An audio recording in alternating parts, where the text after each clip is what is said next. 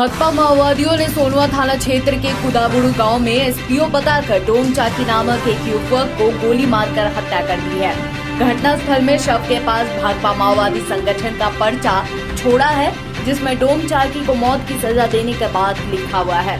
जबकि एक पर्चा में भाकपा माओवादी संगठन ने डोम चाकी पर आम जनता को धमकाने और जान से मारने की धमकी देने का भी आरोप लगाया है। शव के पास घटना स्थल में गोली के कई खोखे भी गिरे हुए हैं।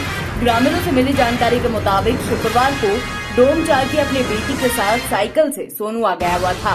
वापसी के दौरान करीब तीन चार बजे गाँव से कुछ दूर पहले मोटरसाइकिल सवार दो युवकों ने उसे गोली मारकर हत्या कर दी। इधर पुलिस ने मृतक युवक डोम चाकी के एसपीओ होने से इनकार किया है।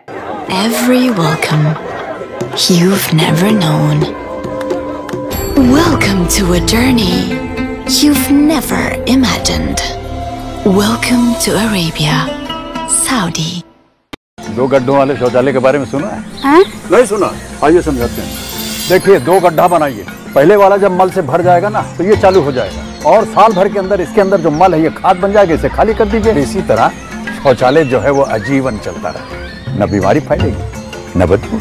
और पैसे? अरे वो सेप्टिक टैंक से कई गुना सस्ता। हाँ क्या समझे शौचालय दो गड्ढों वाला ही बनवाना.